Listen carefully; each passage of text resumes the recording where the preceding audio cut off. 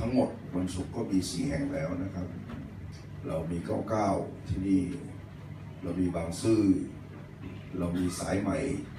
และเพิ่มอีกเมื่อวานนี้ รูปที่ขึ้นนี่จะเป็นรูปเมื่อวาน แต่ว่าเราตั้งใจที่จะได้ให้นโยบายไปแล้วจะมีการอธิษฐานทุกวันศุกร์เหมือนกันโดยต้นจะรับผิดชอบเดี๋ยวขึ้นนะครับเอาตรงนี้คือนี่เป็นรูปนิมิตลังสิตเมื่อวานนี้ ตนจะเป็นผู้รับผิดชอบหลัก เดี๋ยวเดี๋ยวอย่าเพิ่งอย่าเพิ่งไปสิครับ เอาเอาทีละอย่างครับ ต้นจะเป็นผู้รับผิดชอบเป็นหลัก แล้วก็มีมีทีมก็คือมีโบกับเม่งเข้ามานะครับ แล้วก็ทุกวันวันนี้คงจะเริ่มแล้ว แต่รูปยังไม่มา อันนี้เป็นรูปเมื่อวานนี้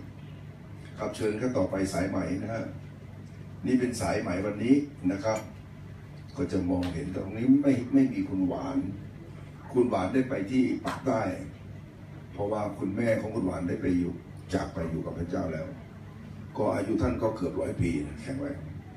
ตระกูลนี้แข็งแรงมากนะครับ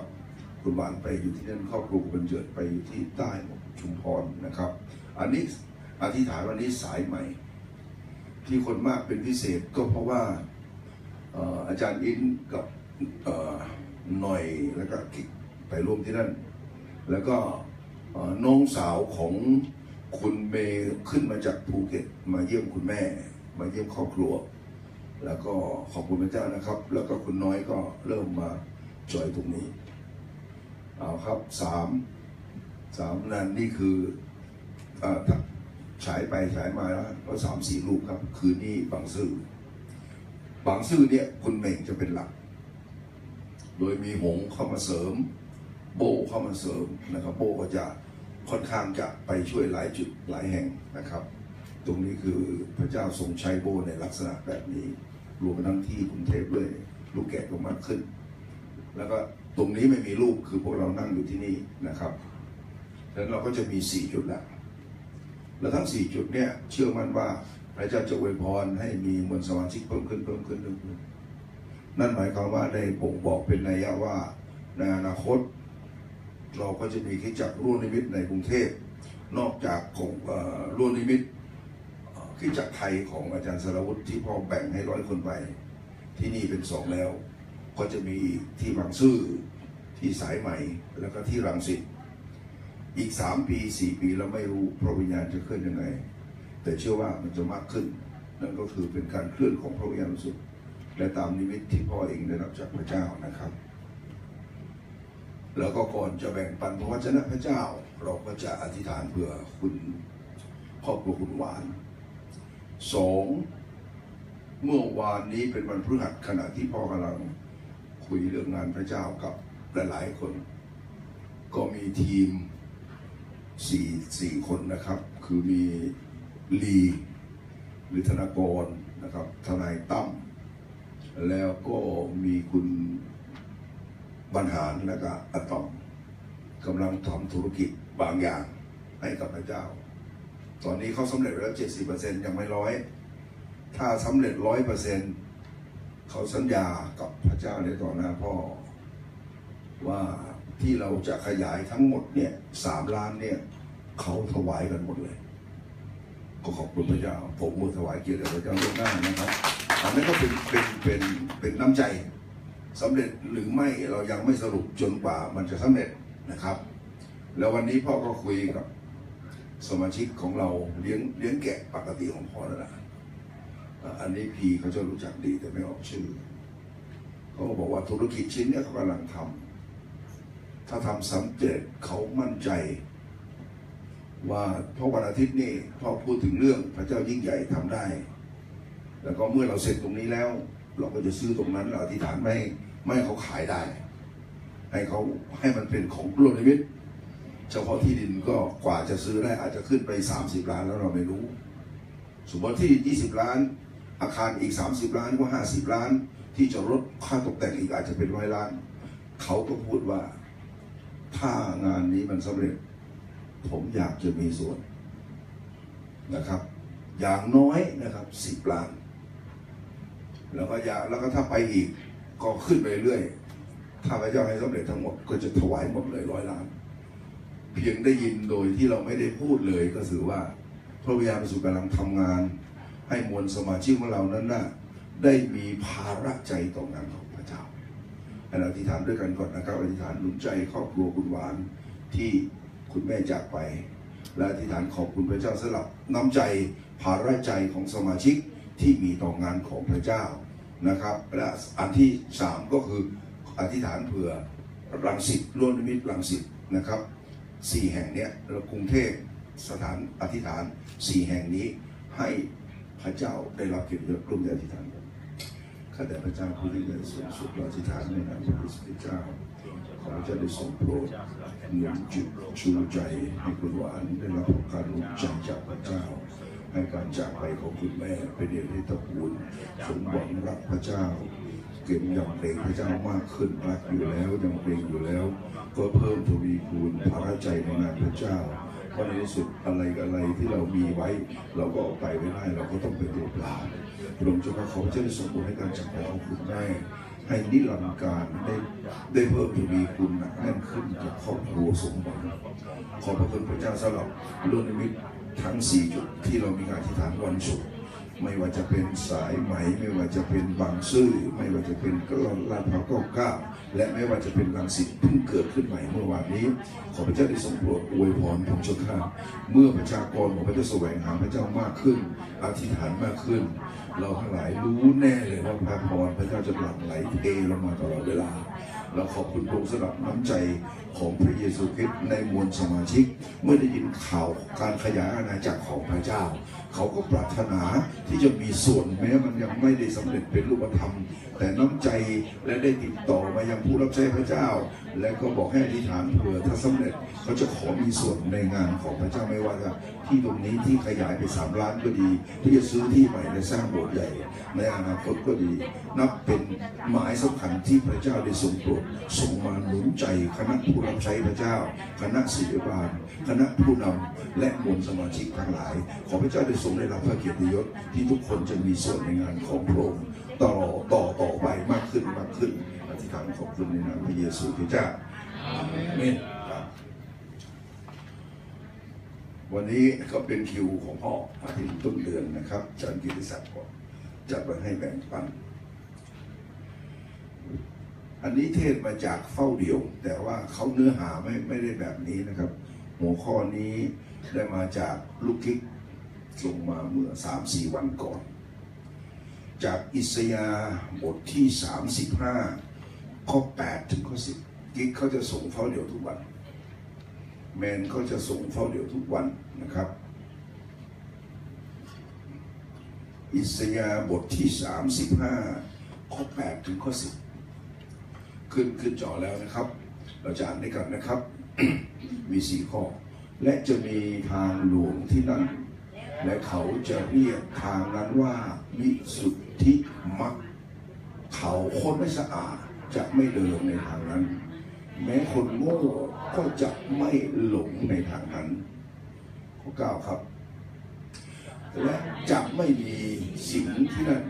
หรือจะไม่มีสัตว์ร้ายมานทางนั้น จะพากัน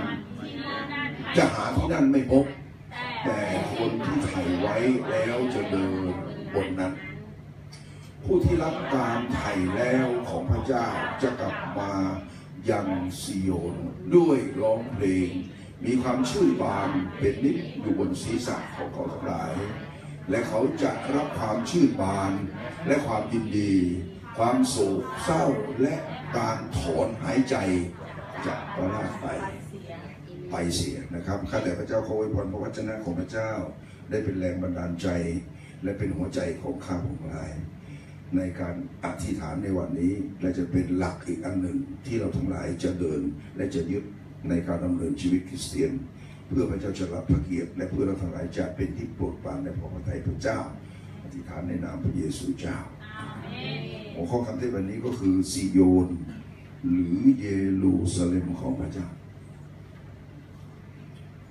ซิโยน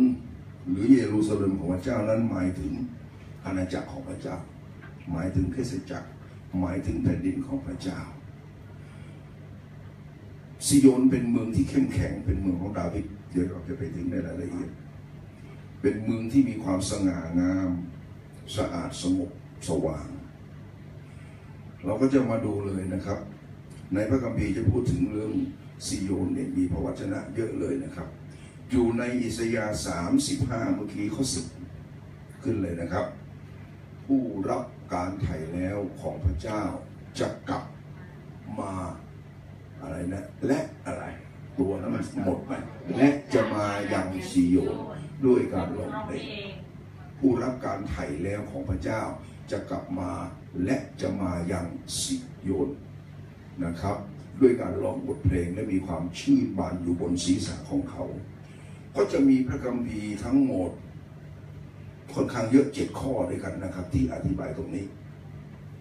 เราจะเริ่มจากสองสุซามูเอลบทห้าข้อเจ็ดถึงข้อสิบ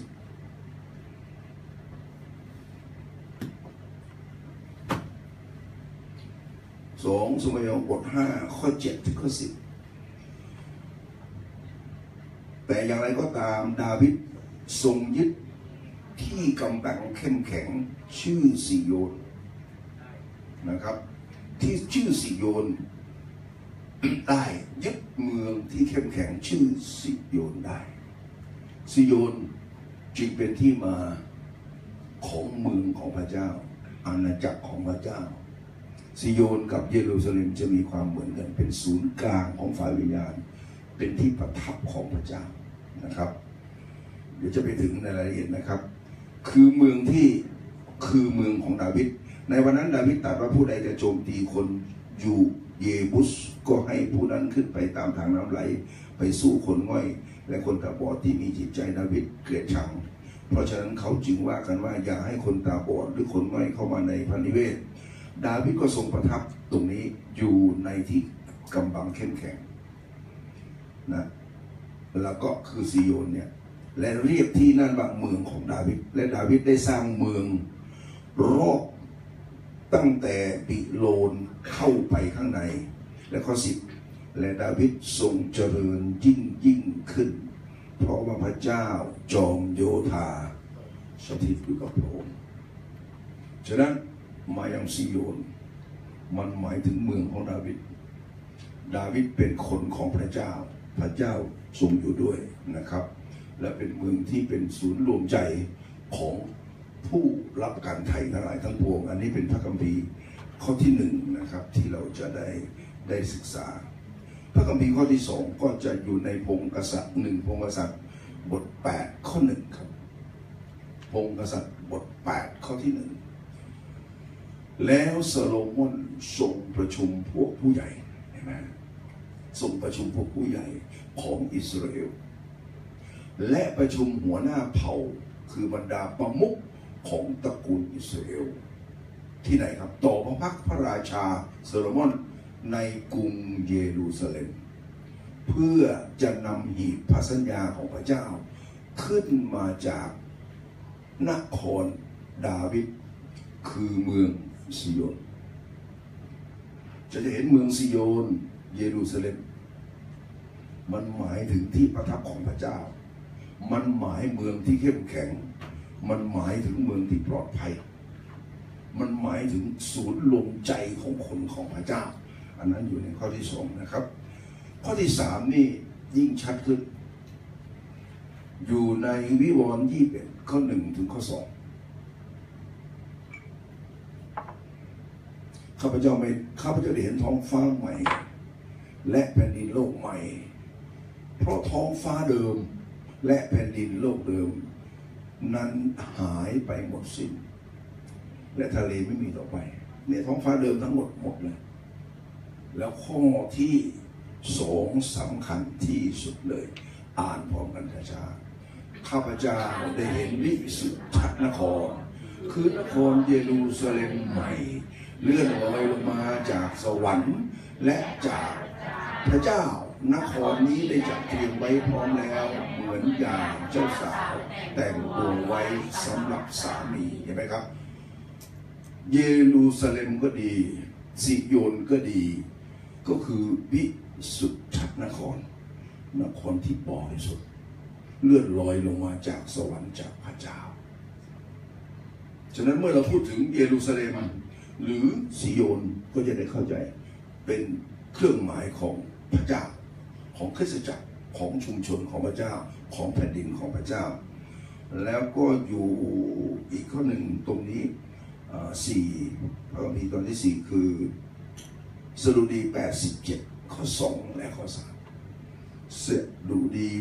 87 ข้อ 2 และข้อ 3 ข้าพเจ้าทรงรักประตูซิโยน มากยิ่งกว่าที่อาศัยแห่งใด ๆ ของยาโคบเห็นไหมครับ รักประตูซิโยนข้อ3ครับ โอ้นครแห่งพระเจ้าเอ๋ย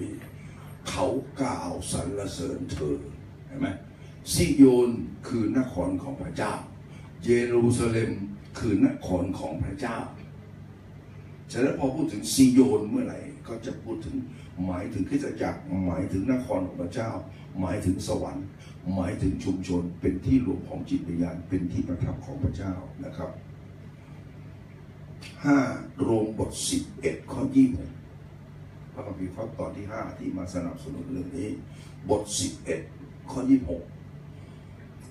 และเมื่อเป็นดังนั้นพวกอิสราเอลทั้งปวงจะได้รับความรอด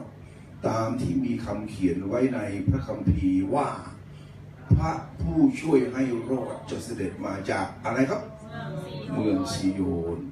และจะทรงกำจัดอธรรม ให้สูญสิ้นไปจากยาโคบเห็นไหมพระผู้ช่วยให้รอดจะเสด็จมาจากเมืองซีโยนฉะนั้นเมืองซีโยนเยรูซเลมคือเมืองของพระเจ้านะครับคริสตจักรก็เป็นเมืองของพระเจ้านะครับ ต่อไปครับอ่า พระคัมภีร์ตอนที่ 6 ให้รูบทที่ 12 ข้อ 22 ขอ แต่ให้อ่านเต็มก็จะเห็นภาพชัดกว่ามิใช่เช่นนั้น แต่ท่านทั้งหลายมาถึงเห็นไหมภูเขาซีโยนหนึ่งมาถึงนครของพระเจ้า ผู้ดำรงพระชนอยู่สองเห็นไหมครับ คือเทพนครยูซาเล็มและมาถึงที่ชุมนุมทูตสวรรค์มากมาย เหลือที่จะนับได้ เมื่อพูดถึงซีโยนเราก็จะมองเห็นเลย เป็นนครของพระเจ้าผู้ทรงพระชนอยู่ เป็นที่ชุมนุมของทูตสวรรค์มากมาย ชุมนุมอยู่ที่ซีโยน ชุมนุมอยู่ที่เยรูซาเล็มนะครับ และพระคัมภีร์ตอนสุดท้ายก็คืออยู่ในวิวรณ์บท 14 ข้อหนึ่งพูดถึงซีโยนวิวรณ์14 ข้อหนึ่ง14 ครับ ไม่ใช่ 10 14ข้าพเจ้าได้แลเห็นและดูเถิดพระเมสสโปดกทรงยืนอยู่ที่ภูเขาซิโยนและผู้ที่อยู่กับพระองค์มีจำนวนแสนสี่หมื่นสี่พันคน ซึ่งเป็นผู้ที่พระนามของพระหืมซึ่งเป็นผู้ที่มีพระนามของเป็นผู้ที่พระนามของพระองค์ผู้ที่มีอ่ามีพระนามตัวเล็กมาก มีพระนามของพระองค์ และพระนามของพระบิดาของพระองค์เขียนไว้ที่หน้าผากของเขา อัครทูตโยนได้เห็นนิมิตเป็นวิวรณ์ว่าได้เห็นพระเมสสบุดกยืนอยู่ที่ภูเขาสีโยน และผู้ที่อยู่กับพระองค์นั้นก็คือแสนสี่หมื่นสี่พันคน คือพวกอิสราเอลนะครับของพระเจ้านะครับ เพราะฉะนั้นพระคัมภีร์เจ็ดข้อนี้ก็จะบอกถึงซิโยน คืออาณาจักรของพระเจ้า ประยุกต์เอามาใช้ในการอธิษฐาน ยิ่งถ้าเป็นการอธิษฐาน การนมัสการ การถือศีลภาพซิโยนเราก็จะต้องเข้าใจซิโยนว่าที่ประทับของพระเจ้า ที่ชุมนุมของทูตสวรรค์มากมาย ที่พระนามของพระเจ้าจะต้องถูกยกเราไม่เพียงแต่สรรเสริญนมัสการเราทูตสวรรค์ก็ร่วมกันสรรเสริญกับพวกเรา ไม่เพียงแต่ที่เราอธิษฐานเท่านั้นนะครับ เราทูตสวรรค์ก็จะมาอยู่กับพวกเราร่วมกัน เพราะซีโยนคือเมืองของพระเจ้านครของพระเจ้า และที่น่าประทับใจ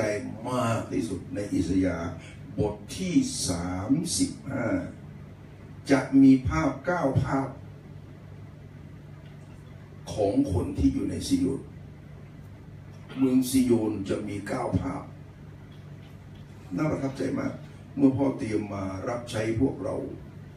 ก็เรียกว่าปราบปลื้มใจจนน้ำตาน้ำตาคลอเลยนะชื่นใจมากภาพที่หนึ่งอิสยาห์ขึ้นเลยนะครับ บทที่ 38 ข้อ 8 ถึงข้อที่ 10 แต่เอาข้อ 8 ก่อนหนึ่งดูเถิด จะมีทางหลวงที่นั่นฮัลโหลบทที่ 35โทษพูดว่าพูดผิด บทที่หัก35ข้อ8และจะมีทางหลวงที่นั่นทางหลวง ถ้าเราเข้าใจคนที่เดินทางบ่อยจะเข้าใจคำว่าทางหลวงแผ่นดินบางทีมันแปดเลนเลยนะสิบเลนเลยนะ ทางหลวงเนี่ยแปดเลนสิบเลน แต่มันมีข้อคิดซ่อนอยู่ตรงนี้ เป็นทางที่กว้างขวางหมายถึงจิตใจที่กว้างขวาง น้ำพระทัยของพระเจ้าเต็มอยู่ในซีโอจะไม่เป็นใจที่คับแคบ แต่เขาเดินทางแคบ คือเดินอยู่ในทางของพระเจ้ามีลูกทางแคบคือลูกชีวิต แต่จิตใจของเขาเนี่ยจะเป็นทางหลวงของพระเจ้า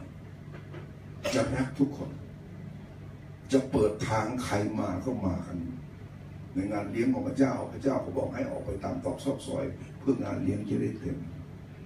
คนรวยก็มาได้ คนจนก็มาได้ คนมีการศึกษาสูงศึกษาต่ำก็มาได้ นั่นประการที่หนึ่งจะมีทางหลวงที่นั่น ตรงนี้สำคัญ วันพฤหัสคนที่มาเรียนจะจะรับคำสอนที่พ่อสอนไว้ว่า ในพระนิเวศของพระเจ้า จะมีที่อยู่เป็นอันมากทุกคนในคริสตจักรในซีโยนต้องมีที่อยู่มีที่ยืน และเป็นที่ที่มีเกียรติมีค่า คือไม่ใช่คนจนไปอยู่กระท่อม คนรวยมาอยู่หวังไม่ใช่ คือทุกคนจะอยู่ในพระนิเวศพระนิเวศ ทุกคนจะมีค่ามีเกียรติตามการเจิมการนำของพระเจ้า จะมีที่อยู่และเป็นที่อยู่ที่มีคุณค่าและมีเกียรติทางหลวงประการที่หนึ่งภาพที่สองคือทางหลวงนั้นเขาจะเรียกวิสุทธ มรรควิสุทธิมรรคเห็นไหมทางหลวงนั้นเขาจะเรียกวิสุทธิมรรคพอมาดูเวลาแล้วมีน้อยเขาเขาจะลงลงลงวิสุทธิมรรคเนี่ยค่อนข้างยาวหน่อยนะครับ พูดถึงวิสุทธิมรรคเนี่ยนะครับ ก็จะพูดถึงทางหลวงเนี่ยภาษาอังกฤษใช้คำว่า right way จะ right way เป็นทางสะอาด เป็นทางถูกต้อง แต่พอพูดถึงทางหลวงก็จะมีอีกคำหนึ่งอวิสุทธิมรรคเนี่ยจะเรียกว่า highway of holiness เป็นหนทางที่กว้างขวางสำหรับความบริสุทธิ์ highway of holiness นะครับวิสุทธิมรรคนะครับ คือเมืองที่บริสุทธิ์ ก็จะมีพระคัมภีร์หนึ่ง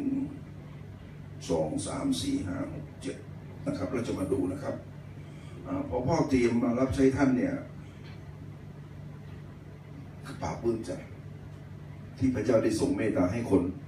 โอ้ถ้าพี่น้องรู้จักรายละเอียดพ่อเนี่ยพ่อพูดเสมอ ถ้าพ่อไม่เชื่อพระเจ้ารับรองอายุพ่อไม่ถึงสี่สิบคือถูกฆ่าตายเพราะพ่อทำร้ายคนอื่นมาเยอะหวานความชั่วเลวมาเยอะคิดดูที่ม .4 ถึง 6 ในพ่อเป็นหัวหน้าแก๊งเลย แล้วแก๊งของพ่อนะครับมือปืนรับจ้างคือค่าระดับสูงเลยสอสอสอวออย่างเงี้ยและทุกคนที่เป็นมือปืนนั้นถูกฆ่าตายหมด เหลือสองคน ที่ไม่ตาย แต่พอเกษียณแล้วต้องไปอยู่ในป่า คนหนึ่งก็นะครับ อยู่ที่แพร่พ่อก็ได้ให้ให้ให้ลูกแถวนั้นนะไปแสดงความเอาเอาพวงมาลัยไปเพราะเขาเป็นพยานถึงเรื่องพระเยซูคริสต์เจ้า ราะเขาฆ่าคนมาเยอะ แต่พอใครก็ตามมาอยู่เมืองซีโยนความสกปรกก็หายไปกลายเป็นความสะอาดฮาเลลูยาความโหดเหี้ยมหายไปมีแต่ความรักและความเมตตาฮาเลลูยาฉะนั้นคนหนึ่งคนใดอยู่ในพระคริสต์คนนั้นก็เป็นคนที่ถูกสร้างใหม่หมดเลยนะไม่ใช่ซ่อมนะ สิ่งเก่าๆก็ค่อยๆล่วงไปล่วงไปจนหมด ตรงนี้นะครับ เป็นวิสุทธิมรรคเป็นทางแห่งความบริสุทธิ์อิสเซสคาเรียบท14ครับ ข้อ20ถึง21เศคาริยาห์บทที่14ข้อ20ถึงข้อ21นะครับและในวันนั้น ลูกพรวนที่ผูกม้า จะมีคำจารึกว่าบริสุทธิ์แด่พระเจ้า แม้กระทั่งลูกพรวนที่ผูกม้า ก็มีคำจารึกว่าบริสุทธิ์แด่พระเจ้าดังนั้นเวลาเราเข้าอธิษฐาน เข้าเฝ้าเดียวทุกวัน อย่างที่เราส่งเฝ้าเดียวกัน และถ้าตัวเราเข้าเฝ้าเดียวทุกวันเนี่ยเราจะบริสุทธิ์แด่พระเจ้า ความบริสุทธิ์ของพระเจ้าความดีของพระเจ้าจะเพิ่มในตัวเรามากขึ้นมากขึ้นนะครับ แล้วไม่พออ่านให้จบนะครับ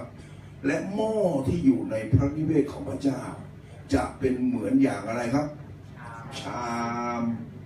ซึ่งอยู่หน้าแท่นบูชานะครับหม้อที่อยู่ในพระนิเวศจะเป็นเหมือนชามที่อยู่หน้าแท่นบูชา ชามที่อยู่หน้าแท่นบูชาทำด้วยทองคำบริสุทธิ์ ทุกอย่างมีค่าและบริสุทธิ์ อันนี้แหละครับซิโยน นี่คือจักรนี่อาณาจักรของพระเจ้านะครับ แล้วข้อ21ครับ เออ และหม้อทุกลูกในเยรูซาเล็มและยูดาจะเป็นของบริสุทธิ์แด่พระเจ้า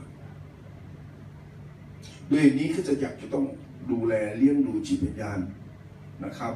สร้างอย่างที่พ่อบอกสี่ต่อ ต่อเติมต่อแต่งต่อตัดต่อแล้วก็ต่อส่งต่อ เพื่อทุกคนจะได้บริสุทธิ์สะอาดหมดจดนะครับ บริสุทธิ์ต่อพระข้าพเจ้า และทุกคนก็จะที่มาถวายสัตว์บูชาจะเอาหม้อไปบ้าง ต้มเนื้อในหม้อเหล่านั้นในวันนั้นจะจะอ่าอันนั้นมันในวันนั้นจะไม่มีพ่อค้าในพระนิเวศของพระเจ้าในซิโยนอีกต่อไป คือคริสตจักรจะไม่เป็นที่ค้าขาย จะไม่เป็นทางของโจร คริสตจักรจะคบกันอยู่ด้วยกันอย่างมีความสุข ถ้าเรากลับมาในคิดจักรแรก เขาจะถือว่าไม่ทรัพย์สมบัติทั้งหมด ไม่เป็นของใครเขามาจากใจนะ ไม่มีบังคับเลย เขาจะเอาขายมารวมกันแล้วก็ช่วยกันแจกจ่าย แต่ภายหลังเลิกไป เพราะว่าคนที่เข้าโบสถ์ส่วนใหญ่อ่อนแอแล้วก็จะใช้ก็เลยไม่ทำงานนะครับ ก็ไม่ทำงาน ก็เลยแยกกันไป แต่ว่า น้ำใจอันนี้ยังอยู่นะน้ำใจอันนี้ยังอยู่ จะมีความจริงใจอะไรต่อกัน ทุกวันนี้คนที่รักพระเจ้าดี แล้วก็มีฐานะการเงินไหนก็เป็นทุกข์ส่วนใหญ่ก็จะโทรมาหลายนะขอคำปรึกษาพ่อทุกใจที่สุดถูกยืมไปแล้วยืมแล้วก็ไม่ใช้ ยืมแล้วก็นามสกุลขี้ลืมนะครับ จะทวงก็ไม่ดี หลายคนก็อึดอึดอัดมากพ่อก็แนะนำว่า เขาก็บอกยืมอีกแล้วพ่อพ่อบอกเอาใช้วิธีพ่อดิเขายืมหมื่นหนึ่งแล้วว่าจะใช้เรารู้ว่าเขาใช้ไม่ได้เราบอกว่า ขอมีส่วนช่วยสองพันหรือสามพันไม่ต้องยืมหรือมีส่วนช่วยหนึ่งพันจับกำลังพอเขาทำอย่างนั้น เขาก็ไม่กล้ามาอีกครั้งที่สอง แต่ให้ยืมก็จะมาเรื่อยฉะนั้นน้ำใจที่มาค้าขายกับพี่น้องเอาเนี้ยมาเอาเปรียบพี่น้องจะไม่อยู่ในเมืองซีโยนอะไรนะครับ แต่เรายอมรับว่ามันมีคนที่ไม่มีน้ำใจ มีคนที่เอาเปรียบเพราะเป็นคนบาปทุกคนไงคือจะจักรจะต้องทำงานเพื่อจะชำระสิ่งเหล่านี้ ไม่ให้คริสตจักรเป็นคำของโจรอย่างที่พระเยซูตรัส และไม่ให้คริสตจักเป็นที่ค้าขายอย่างที่พระเยซูตรัสคริสตจักจะต้องเป็นที่อธิษฐานสรรเสริญพระเจ้านะครับ มาพูดถึงความบริสุทธิ์ในในเสคาริยาแล้วก็ทำให้คิดถึงพระคัมภีร์อันที่สองเอเฟซัสบทหนึ่งข้อสี่ในพระคริสต์นั้นเราถูกเรียกอะอ่านด้วยกันครับ ในพระเยซูคริสต์นั้น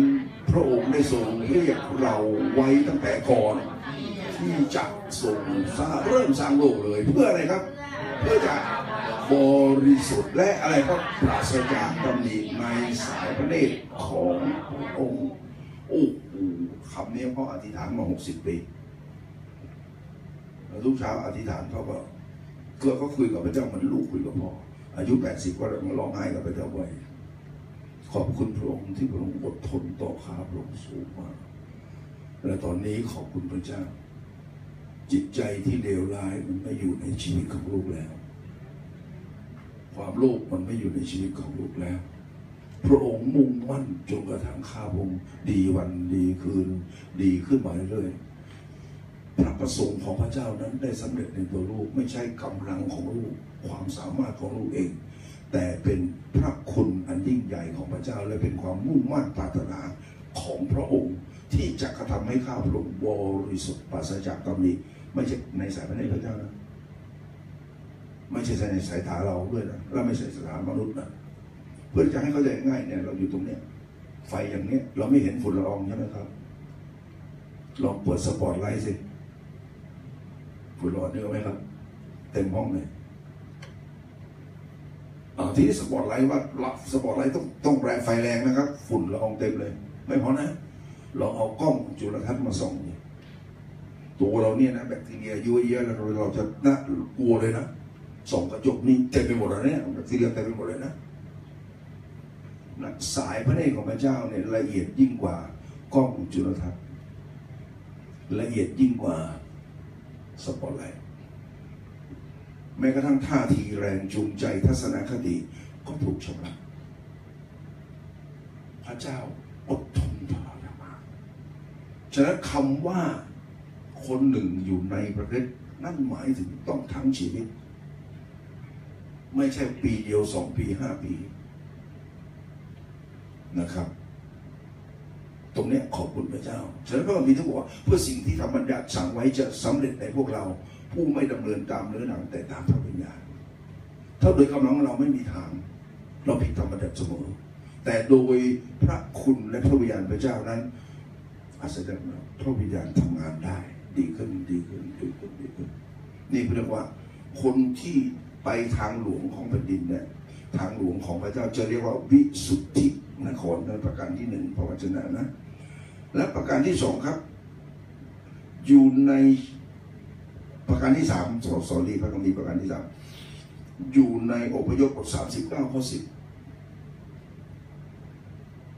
แผ่น แผ่นมงกุฎที่ทำด้วยทองคำจะจารึกว่าบริสุทธิ์แด่พระเจ้าสามสิบเก้าข้อสามสิบสามสิบเก้าข้อสามสิบเขาทั้งหลายทำแผ่นมงกุฎศักดิ์สิทธิ์ด้วยทองคำบริสุทธิ์ จารึกคำว่า บริสุทธิ์แด่พระเจ้า ไว้เหมือนอย่างแกะตรา นะครับฉันพระวิญญาณบริสุทธิ์พระพระวัจพระวจนะของพระเจ้า พระคุณของพระเจ้านะครับสามพระเนี่ยและพระโลหิตของพระเยซูสี่พระ จะเป็นเครื่องมือของสวรรค์มาสร้างเราผู้รับใช้พระเจ้าจะเทศจะสอน พี่เลี้ยงพี่แกะน้องแกะก็ตาม ก็จะจะใช้จุดเหล่านี้มาชำระเราจนกระทั่งบริสุทธิ์แด่พระเจ้า พระเจ้ามีขบวนการอย่างมหัศจรรย์ฉะนั้นให้เราอยู่ในซีโยนของพระเจ้าอาเมนนะครับ ให้เราอยู่ในคริสตจักรของพระเจ้าอาเมนนะครับ ให้เราอยู่ในอาณาจักรของพระเจ้าอาเมนนะครับ ให้เราติดสนิทอยู่ในอาณาจักรของพระเจ้านะครับในตรงนี้นั่นนะสามและสี่ครับหนึ่งเทสโลนิกาบทสามข้อสิบสามพระวจนะของพระเจ้าบอกเลยหนึ่งเทกาบทสามข้อสิบสาม เพื่อพระองค์จะได้ทรงชูใจของท่าน ไว้ให้ดำรงอยู่ในอะไรครับบริสุทธิ์บริสุทธิ์ปราศจากข้อตำหนิในอะไรข้อตำหนิต่อต่อที่ไหนพระพักพระบิดาเจ้าของเราเห็นไหมครับ ให้เราทั้งหลายนะครับดำรงอยู่ พระเจ้าทรงตั้งพระทัยสร้างเราที่จะให้เราเป็น ดำรงอยู่ในความบริสุทธิ์ปราศจากตำหนิพระเจ้าสร้างเรา ฉะนั้น เราจึงยังตายไม่ได้ครับเรายังตายไม่ได้ พระเจ้ายังสร้างไม่เสร็จอาเมนนะครับพูดสิครับ ตายไม่ได้นะพระเจ้าสร้างเสร็จเมื่อไหร่ขอบคุณพระเจ้าขอรับลูกไปเถอะพระเจ้าจะสร้างเราตายไม่ได้ พื่อเราจะดำรงอยู่ คือคำว่าดำรงอยู่นี่เรามีชีวิตอยู่ในความถูกต้อง ใช้เวลามาอดทนมาอดกันมาอันนั้นเป็นพระวจนะของพระเจ้าหนึ่งสองสามสี่และห้าครับเฮบรูสิบสองข้อห้าถึงข้อสิบเอ็ดอันนี้พระเจ้าตรงนี้สำคัญ พระเจ้าชำระเราโดยอะไรครับ สอนเรา สร้างเรา เตือนติดเตือนเราตักเตือนสี่ครับตีเรา ตีสอนสอนสร้างเตือนสามอย่าง ดื้อไม่ฟัง ตีสอน ไม่ใช่ตีให้ตายนะครับ รู้จักรู้จักคำว่าตีสอนไหมคนไม่เป็นครูที่ดีอะไรนะ และไม่เคยเป็นพ่อแม่ ไม่เคยเป็นพี่ที่เลี้ยงน้องพ่อเนี่ยเป็น ลูกคนโตตีพ่อเป็นทั้งครู และเป็นพ่อแม่ และเป็นทั้งสีบาทตีสอนอันนี้ไม่อยากตีต้องตีเอาไม่ต้องอื่นไกลหลานคนที่สามมาเฟิร์มหลานคนที่สามก็เฟิร์มดื้อมาก ไม่เพียงแต่ตีนะคุณตาก็ร้องไห้ตอนเขาอายุห้าหกขวบ ยังไม่ไม่ไปอยู่กับแม่มาอยู่คุณตา เขาไปเข้าโรงเรียนแล้วก็เขาดื้อมากไม่ใช่ตีอย่างเดียวนะคุณตาเอาเท้ากระทืบขบหัวเฟิร์มเลย เฟิร์มเจ๊ชั่วมากแล้วจะตีหลานนี่พ่อจะร้องไห้ห้าบ้านได้ยินเลยเอาห้าบ้านได้ยินเลยหลานจำนะโอ้แล้วก็โกรธหลาน ฉะนั้นเขารักเป็นพกตามากตีสอน พระเจ้าสอนเรา พระเจ้าสร้างเรา พระเจ้าเตือนเรา และถ้าเราไม่ฟังพระเจ้า ตีแต่ตีสอนเพื่อให้เราได้ ดีเพื่อเราจะให้บริสุทธิ์ คนโบราณเขาบอกไม้เรียวสร้างคนเป็นรัฐมนตรีพระธรรมสุภาษิตบอกว่า อย่าให้ไม้เรียวห่างจากลูกของเจ้า เพราะไม้เรียวมันจะไล่ความโง่เออสายมองหาภูผาแล้วนะทั้งสายทั้งทั้งพ่อเลยนะครับ มีลูกคนเดียวนี่ก็ฟ้องซะเลยนะครับ ฟ้องซะเลย เมย์เขาก็ไปเขาบอกว่าโอ้ยากที่สุดคุณพ่อ ปาการความรักพ่อกับแม่ต่อภูผาเนี่ย ทำให้รู้สึกสร้างสร้างสร้างภูผาเนี่ยซุปเปอร์ยากเลยคุณพ่อครับ นี่วันนี้มาครอบครัวโลกนี้มาพูดกันแล้วเนี่ย เราอยู่ในเมืองซีโยนของพระเจ้านะครับ โอ้โหคุณพ่อปราการความรักของพ่อแม่ภูผาทำให้โอ้โหสร้างภูผาไม่ได้ง่ายเลยพ่อก็บอกว่าใช่เพ่อเขามีลูกอยู่คนเดียว แต่วันนี้ภูผาเริ่มเริ่มมาตีตีกีตาร์รับใช้พระเจ้าแล้วปรบมือให้กับภูผาหน่อย ขอให้อยู่ในซีโยนขอให้อยู่ในงานของพระเจ้า ก็จะรับการสร้างแล้วรับการดัดแปลงแก้ไข เวลาดัดเป็นไง เจ็บนะ ไม้อย่างไม้คานเนี่ย มันจะก็ต้องดัดใช่ไหมครับ แล้วแล้วคันธนูก็ต้องดัดใช่ไหมครับ ดัดไปแล้วบ้านพ่ออันนี้จะมีตะโกดัดเราแพงด้วยนะครับบางที่ดัดอย่างนี้นะ ถ้ามันพูดแล้วเจ็บเจ็บเอึดอัดแต่เจ้าของต้องดัดเพื่อมันสวยงามแล้วมีค่าอ่าแล้วมันจะดูเฮบรูนะครับ ยาวหน่อยครับ บทสิบข้อห้าถึงข้อสิบเอ็ดคิดว่าอยู่ในเวลาอีกครั้งนาทีได้นะครับ ขึ้นพระคัมภีร์ครับเฮบรูสิบสองข้อห้าถึงข้อสิบเอ็ดดังนั้นเมื่อเฮ้ยสิบสองลูกฮัลโหลอ่า และท่านได้ลืมคำเตือน ที่พระองค์ได้ทรงเตือนในหาที่เป็นบุตรว่า บุตรชายของเราเอ๋ยอย่าละเลยต่อการตีสอนขององค์พระผู้เป็นเจ้าและอย่าท้อถอยในเมื่อพระองค์ทรงตีสอนนั้นก็ครับ เพราะพระองค์พระเจ้าทรงตีสอนผู้ที่พระองค์ทรงรัก และเมื่อพระองค์ทรงรักผู้ใด รับผู้ใดเป็นบุตรพระองค์ก็ทรงตีสอนผู้นั้นเขาใจครับ ท่านทั้งหลายจงรับและคนเอาเถิด เพราะเป็นการตีสอนพระเจ้าทรงปฏิบัติต่อท่านนะฮะเป็นที่ท่านเป็นบุตรของพระเจ้าด้วยว่ามีบุตรคนใดเล่าที่บิดาไม่ได้ตีสอนเขาบ้างข้อ 8 ครับ ถ้าท่านทั้งหลายไม่ได้ถูกตีสอนเช่นเดียวกันกับคนอื่น ท่านก็ไม่ได้เป็นบุตร แต่เป็นลูกที่ไม่มีพ่อข้อเก้าครับและอีกประการหนึ่งเราทั้งหลายมีบิดามนุษย์ที่ตีสอนเราและ เราก็รักนับถือบิดานั้น ยิ่งกว่านั้นอีกเราควรจะอยู่ใต้บังคับของพระบิดาแห่งวิญญาณจิต และมีชีวิตอยู่ไม่ใช่หรือข้อสิบข้อครับ เพราะบิดาที่เป็นมนุษย์ตีสอนเราเพียงชั่วคราวเล็กน้อย ตามความเห็นดีเห็นชอบของเขาเท่านั้น แต่พระองค์ผู้ทรงตีสอนเราเพื่อประโยชน์ของใครครับ ของเราเพื่อให้เรานะครับ ได้เข้าส่วนใน วิสุทธิสภาพของพระองค์ข้อ11ครับ และเมื่อตักมีการตีสอนดูไม่เป็นที่น่าชื่นใจเลย เป็นเรื่องน่าเศร้าใจ แต่ภายหลังก็จะก่อให้เกิดความสุขสำราญแก่บรรดาคนที่ต้องทนอยู่นั้นคือความชอบธรรมนั่นเองพวกเราผ่านไปเป็นนักเรียนมา สมมติว่าคนที่เรียนประถมจบป .4 ป .6 เราจบมาแล้ว เราคิดถึงครูที่ตามใจเราหรือเงียบกว่าเรา ครูที่เงียบกว่าเราหรือฮีโร่ครูที่ตามใจเราตอนเราเป็นนักเรียนโอ้โหครูที่ที่ที่ตามใจเราชอบใจ พ่อสมัยอยู่ม .4 ม .6 เนี่ย พาครูไปกินเหล้าที่บ้านเลยนะ แล้วครูที่ไปกินเหล้ากับพ่อ หลังจากพ่อจบม .6 มาเขาไม่อยู่ในหัวใจพ่อเลย แต่ครูชุมพรที่พร่ำสอนพูจะร้องไห้ ยังอยู่ในหัวใจพราะจำได้ตอนนั้นพ่อทำพิชคณิตหรือเลขาอ่อนผมบอกว่านิรุตยังไม่ต้องกลับบ้านไปขออนุญาตเตียกับแม่เธอแล้วครูจะสอนสอนคนเดียวนะครับ อันนี้บะหมี่อันนี้ขนมครกหิวก็กินไปเอ่อไม่ไม่เข้าใจตรงไหนถามครู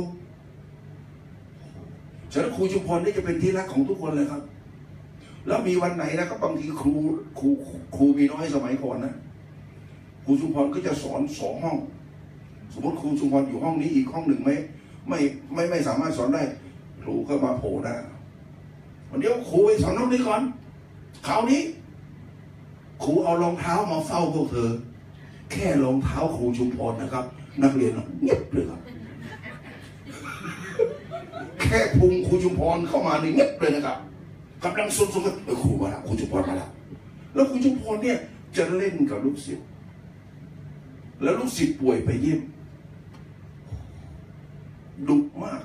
แต่รักศิษย์มาก พี่น้องทั้งหลายเมื่อพระเจ้าหรือพ่อแม่ตีสอนเรา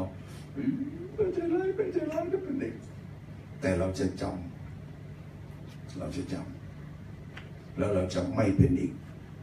ขอบคุณพระเจ้าครับ เวลาผมหมดแล้วครับผมหมดแล้วครับ ไปอยู่หนึ่งสุดท้ายในหนึ่งเปโตรบทสองข้อเก้าอันนี้ก็จะจบเลยเวลามาอาจจะสองสามนาทีนะครับ ดูสิครับว่าพระเจ้าทรงเรียกเราเป็นบุตรไม่พอหนึ่งท่านทั้งหลายเป็นชาติที่พระเจ้าเลือก เลือกทั้งทั้งทั้งทั้งสี่โยนเลยนะสองสร้างเราเป็นปุโรหิตหลวงสาม สร้างเราเป็นประชาชาติบริสุทธิ์สี่สร้างเราเป็นชนชาติของพระเจ้าโดยเฉพาะห้าเพื่อให้เราทั้งหลายประกาศพระบารมีของพระองค์หกเรียกเราออกจากความมืดเข้าสู่ความสว่างอันอธิษฐานด้วยกันข้าแต่พระเจ้าขอพระวจนะของพระเจ้าที่เราได้อ่าน และได้เรียนจากอิสยาห์บทที่ 35 ข้อ 8 ถึงข้อ 10 ซึ่งมีพระพรทั้งหมด 9 ประการ แต่เราเรียนได้แค่ 2 ประการ ขอพระเจ้าได้ทรงโปรดให้เราทั้งหลาย ได้รับพระพรจากพระวจนะนี้ และให้ชีวิตของเราเป็นไปตามพระวจนะทุกประการในนามพระเยซูคริสต์เจ้าอาเมนครับ